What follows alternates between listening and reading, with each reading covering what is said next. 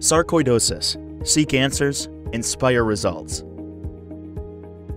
I kept having shortness of breath when there was no real cause. I wasn't doing anything physically taxing or overexerting myself, but I kept struggling to catch my breath. Then I got this painful, bumpy rash on my shins, and my knees got severely stiff and sore. It took three doctors and four different diagnoses before we finally figured out that this weird conglomeration of lung, skin, and eye symptoms I've been having was, in fact, sarcoidosis. My eyes started giving me problems, including light sensitivity, teariness, redness, and sometimes blurred vision. At first, my eye doctor couldn't figure out what was wrong. I had chest pains, and then I had a rash on my body. Then my eyes got red and my vision got blurry. Sometimes I ran a fever and I was tired all the time. It didn't make sense. Could all these symptoms be related?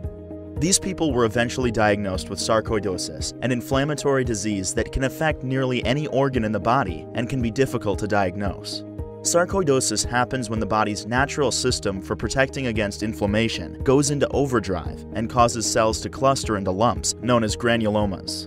No one knows what causes sarcoidosis, but it's important to recognize that you're not alone.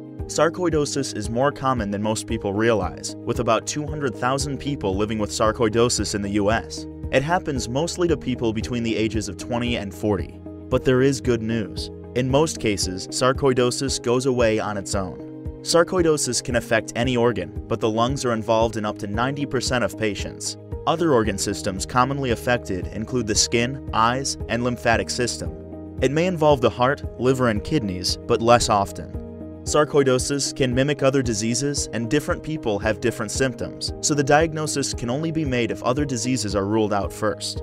Sometimes your doctor will need to recommend other tests to sort things out, from chest x-rays and CT scans to breathing tests, blood tests, and biopsies. So what's the prognosis for people diagnosed with sarcoidosis? Generally, it's pretty good. With attentive medical care, most cases of sarcoidosis are not severe and don't cause any lasting damage to the body. In fact, for most patients, sarcoidosis goes away on its own in 1 to 3 years. For those with moderate to severe symptoms, some people get relief by taking corticosteroids, such as prednisone. However, many patients have difficulty with the side effects of these and other treatments and need to explore other options.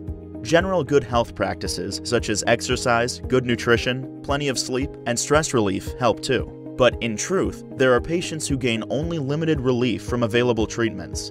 Just knowing what the problem was gave me some relief, and with help from my doctor, my breathing symptoms became more manageable. After about a year and a half, the sarcoidosis went away, and now I feel fine. My doctor prescribed topical and oral medications that alleviated the pain and reduced the rashes and patchy skin. And while my sarcoidosis seems to be under control, I do experience a number of side effects from the medications I take. I went through two difficult years where my eyes gave me repeated problems, but nothing so extreme that it affected my ability to work or drive. I still have up and down times, but now I know what to do when one of my symptoms recurs. Having the lymph nodes in my neck biopsied was a little scary, but it helped my doctor diagnose sarcoidosis. My case is more serious, with extensive granulomas in the lungs, which give me shortness of breath as well as lymph node involvement. But I'm hopeful that with the continuing support from my doctor, I'll continue to get symptom relief so that sarcoidosis stays a disease I can live with. To learn more about sarcoidosis and get a simple guide to the five questions you should ask your doctor if you think you may have the disease, visit our website at chestnet.org forward slash sarcoid. This video is brought to you by the Chest Foundation and the Foundation for Sarcoidosis Research.